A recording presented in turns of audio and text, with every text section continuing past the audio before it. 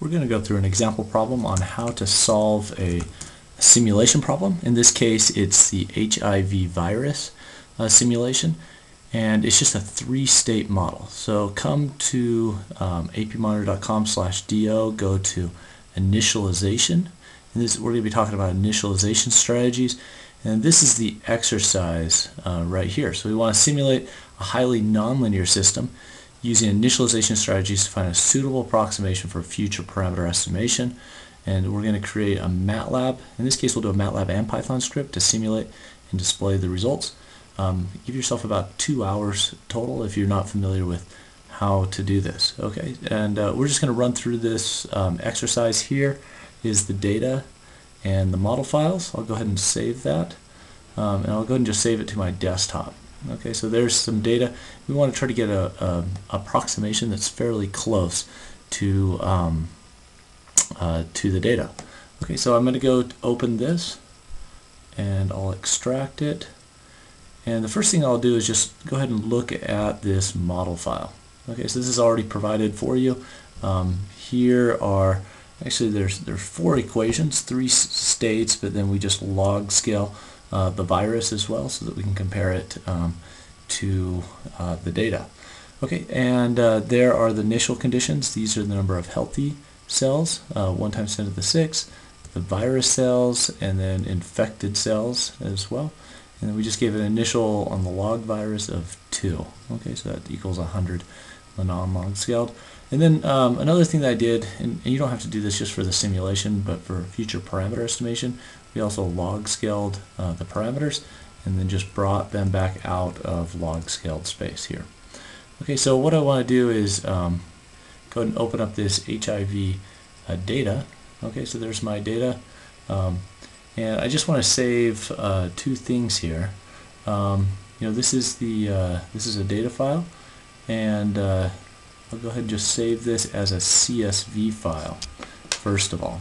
Okay, so I'm going to go out to 15 years worth of data and uh, we're measuring this patient's uh, we're measuring this patient's virus count every uh, 0.25 years um, and then I'm going to save this as a comma separated value file okay so I'm going to go browse and I don't want to save it to OneDrive sometimes that locks up my Excel okay I'm just going to save it to my desktop to this data uh, and then what I want to do is save it as a comma delimited. So if you miss that, it's just right. Um, let me go up. Okay, so there's comma delimited. Don't do tab delimited, for example.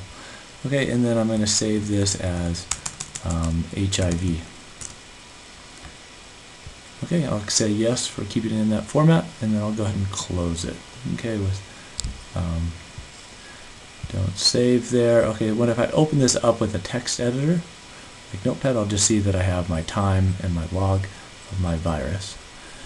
Okay, so now um, the other thing I want, um, sometimes it's harder to import things without uh, or with that, that heading. So I'm just going to save another one that's called HIV data and uh, I'll go ahead and just edit that with a text editor. And what I want to do is just take off the uh, heading. Okay, so I'll just have the raw data there as well. Okay, so the first thing I want to do is go ahead and just create a new MATLAB script. Um, and I'll just call this main.m. Okay, this is going to be my MATLAB script that I'll use to uh, simulate this system. Okay, so um, while this is loading as well, one of the other things we will need to grab is just come back to um, apmonitor.com and then go and grab the MATLAB uh, libraries for this, okay, from the MATLAB interface. Okay, I'm just going to grab those um, here and I'll go ahead and open it. I only need to get the APM folder. Okay, so I'm going to go ahead and copy, uh, go ahead and copy this and then put that into my folder that is here on my desktop. Okay, so that is just a collection of libraries that are going to help me simulate this. Okay, now uh, let's see, I have everything I need. Um, let me go ahead and go back to my MATLAB editor and uh, go ahead and just um, uh, clear. So if I run this multiple times, I want to clear all the variables, close all the plots, and clear the screen. I'll add path to that APM folder that I just um, retrieved, and then I'll issue the APM solve command. Um, I want to solve this HIV model and do it in dynamic uh, simulation mode. Okay, so that's all I need to do uh, to solve this. If I click run, I'll go back to my MATLAB prompt, I'll see that I have y.x, there's y.x.time. Okay, there are all my times, y.x. Dot, uh, let's look at virus, and then y.x. log virus. Okay, so there are all of my uh, results. Um, y.names, for example, it'll show you the, the different names. Okay, but now I want to plot these as well. Um, let me just create a new variable z, which is y.x, because I'm going to be using that a lot. And then the other thing I want to do is load that um, HIV data. Okay, so just load that into MATLAB. And now I want to plot all of these results. So I'll create a new figure with a semi-log y plot, okay, with z dot time. That's going to be my uh, time, uh, my healthy cells. And let me just create a blue line for the healthy cells and uh, then I'll hold on to that plot while I plot some more. Okay, so I'm going to create a couple other ones. Let's plot the infected as well, and we'll make that a green dashed line, and then let's do a red uh, uh, line as well for the, my virus. Okay, um, and then let's do for the data, um, let's do some circles instead. Okay, and that's going to be instead of, uh, I'll use HIV data, I'll just take the first column of that data and then HI, let's see, I, I think I'm going to need to do 10 to the, I'll put the dot there to operate on element wise. HIV data, take the second column. So that was in log scaled, but because I'm doing a semi-log plot, I need that in non-log scaled. So I got to convert it back, and then the semi-log y is going to convert it back to log scaled for me. Okay, and then I'll um, but these are my states. Um, these are going to be log scaled. Okay, and then Y label, I'll go ahead and do H for healthy cells, I for uh, infected cells, and then V for virus cells, and then uh, virus data as well. Okay, so now I have my, let's see if this works. Um, when I plot it, um, okay, now let's see, I wanted to get um, dots, or uh, let's see, I'll do, go ahead and do circles uh, for those instead uh, for the data. So let me just go and rerun it just with the uh, circles. Okay, so there's my uh, virus data and also my uh, predictions that I had. Okay, and now I can adjust the parameters if I want to to try to get it to be closer to that data. Okay, let's do this same um, this same exercise, but in Python. Okay, so um, let's see. I had a problem with the uh, Y label there. Let me go back and correct that while it's still up. Okay, um, let's see. What did I do wrong? Oh, Y label. That should have been legend. Okay, and this should have been Y label, and X label should have been time. Okay, and that was in years. Okay, so let me run it one more time, and we'll see the results pop up. Okay, so there are my results with the correct uh, labels and legends. Okay, so now let's do this in Python as well. I'm going to come into uh, here and create a new uh, text document and I'll just name this main.py, go ahead and get rid of the extension. Uh, that makes it a Python file. I'll edit with IDLE editor. Okay, now what I want to do is um, from APM import everything. Now I don't have the Python libraries yet, so let me go grab those.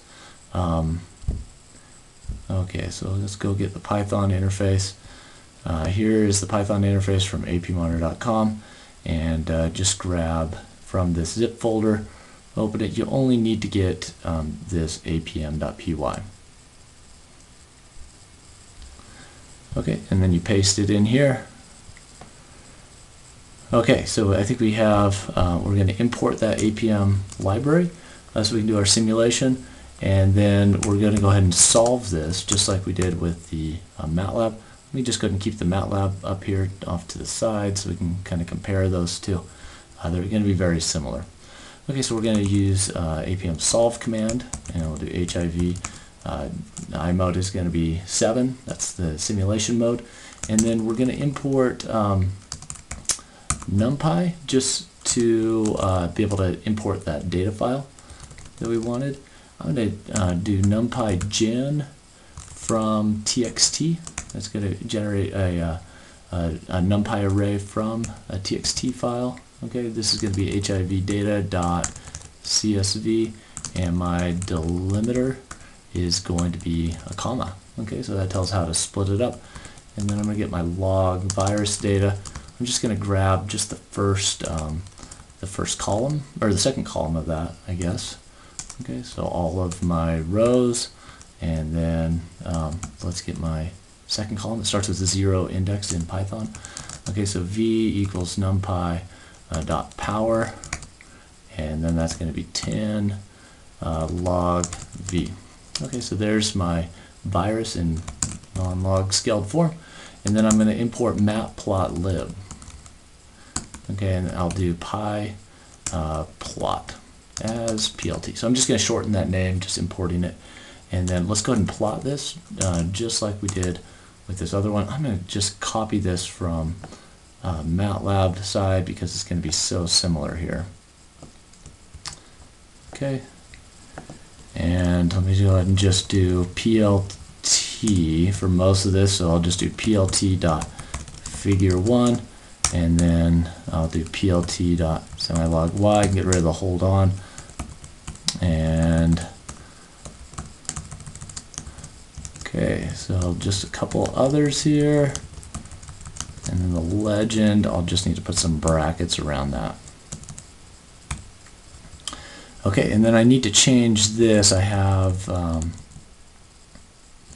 just changed this one. I imported my data a little bit differently um, and so this is going to be uh, data uh, just grabbing the uh, first column. Okay, and then that's going to be V for my Y values. And um, let's see, this is going to be Y uh, time. Okay, so just reference just a little bit differently. Um, instead of Z dot time, I just have Y bracket time. Okay, and then this is going to be uh, H. Uh, this will be I. And V. Okay, so I think I have everything now, and this is in Python. Um, let me go ahead and just try to run it and see if there are any errors. Oh, you know what I needed to do? I always forget to do this in Python, but I need to have a show command as well at the end.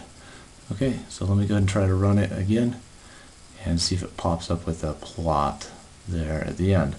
Okay, so there is there are the similar results also in Python. So we did this in MATLAB and in Python. Okay, so um, if you'd like to just go and download uh, these results, you can. Uh, they're going to be right here on, and also the video. And I'll post the HIV simulation in MATLAB and Python.